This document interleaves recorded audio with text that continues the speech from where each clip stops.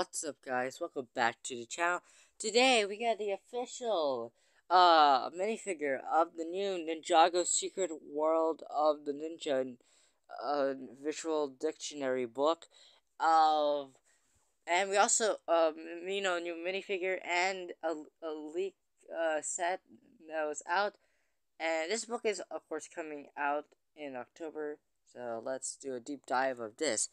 Now, uh, this you know, covers everything up to Dragons Rising. So of course, there's a bit of spoilers of some of the new set, such sets which we'll go over, and a new exclusive Lloyd minifigure.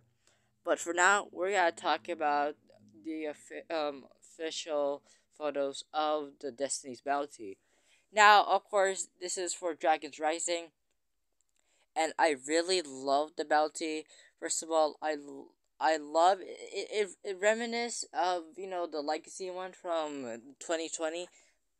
That kind of reminds me of that because of the of the shape and the like the, the um the wings and everything, and of course has a training room, weapon store, and a cozy kitchen and a TV room.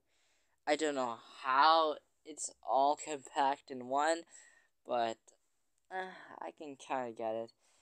There's also there's more sets to come, so yeah, and I might buy this set. I mean, this is actually a dang good um bounty set. I mean, don't get me wrong, it looks so res- resemblance to the Destiny bounty that we got for Legacy. So yeah, but now let's head over to our minifigure, which is a Samurai Lloyd or Samurai X Lloyd.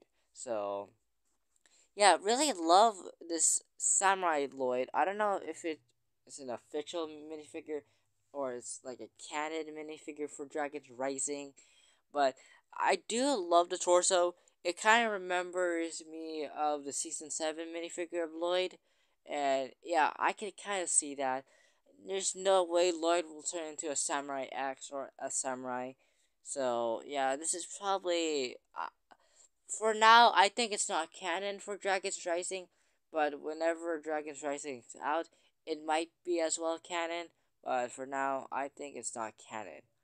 But what do you guys think of you know the book and the Destiny's Bounty um, photo and even the Lloyd Samurai minifigure? What are your thoughts about them? And leave them down in the comments down below. And hope you guys enjoyed this video. Make sure you guys subscribe, turn on notifications whenever I post a brand new video. And until then, we'll see you guys next time. Bye!